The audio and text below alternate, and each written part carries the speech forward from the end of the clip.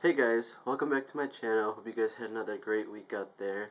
I need to find out how to make a damn intro. I mean, I suck at making an intro. I mean, don't know what to do. But, whatever.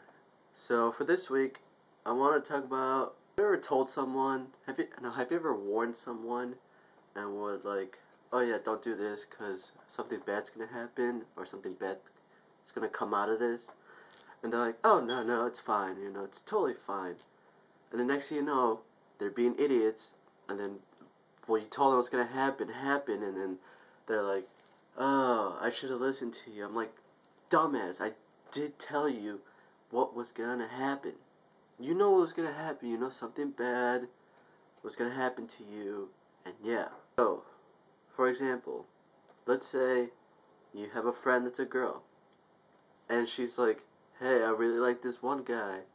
And you know this one guy is like a tool, a player, he uses girls all the time. And then you're like, no, don't date him at all. He will use you, he will use you for sex. He will do stuff sexually to you and you'll be like, oh no, no, I'm still gonna talk to him and fall in love with him. And then you're like, alright, whatever happens, happens. And then next week, next thing you know, they're flirting and stuff, and then they're like, fine. And then next thing you know, she walks up to you. She's like, "Oh my God, he broke my heart. He was using me, and he's flirting with all these other girls, and he's doing all this kind of stupid shit, and he's holding hands, and blah blah blah." And then I was like, "Well, I told you." He's like, "No, no, I can't give up. I'm gonna change him. He's he's a changed man. He's so much different than all the other guys." And you're like, "All right." Not my problem. You go ahead and deal with it.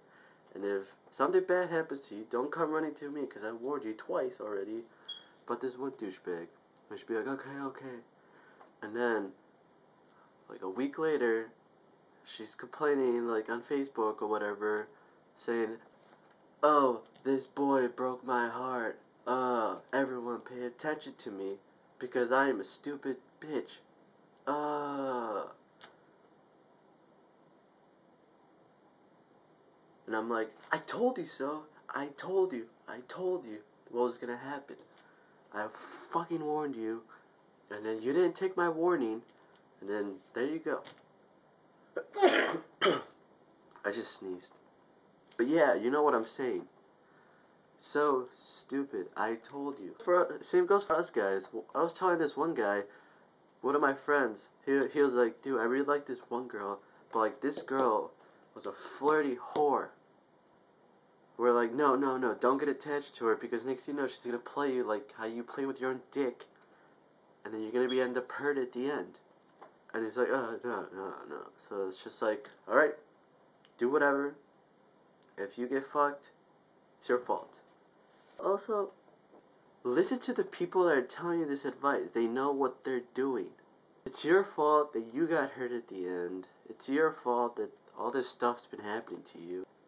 We warned you a bajillion times. And then next thing you know, you're breaking up with him.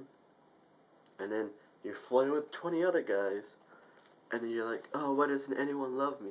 Well, obviously, because you're flirting with 20 other guys. Bitch.